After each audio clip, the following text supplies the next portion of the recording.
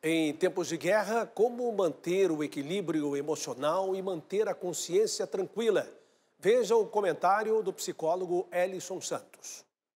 Quando você vê imagens de guerra, de sofrimento, de injustiça, você certamente tem sentimentos: raiva, ódio, tristeza, angústia. Todos esses sentimentos são normais e naturais e é bom que nós os tenhamos porque isso significa que somos humanos. Ao mesmo tempo, o nosso corpo busca regular esses sentimentos, porque se eu fico triste demais, eu posso ficar doente, eu posso cair numa depressão. Se eu fico irado, eu posso lançar mão de comportamentos que me colocam em risco e colocam em risco as pessoas ao meu redor. Então nós regulamos esses sentimentos, mas ao mesmo tempo nós precisamos tomar cuidado para que esses sentimentos não se transformem em comodismo, em uma alienação da realidade, em que nós nos afastamos tanto dos sentimentos que acabamos nos conformando, nos tornando pessoas frias, insensíveis. E aí entra a voz da consciência esse órgão de sentido que a nossa vida tem, que cada um de nós tem.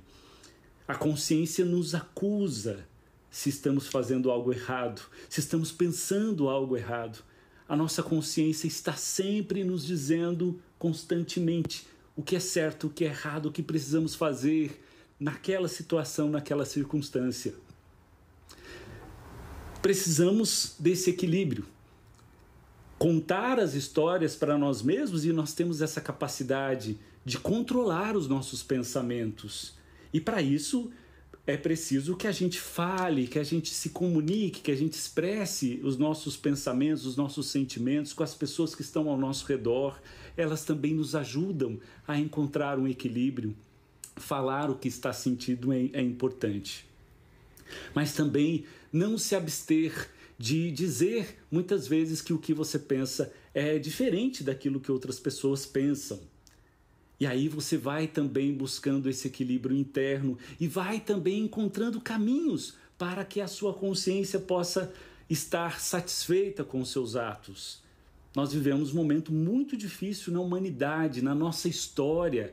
A história está sendo feita e cada um de nós tem um papel.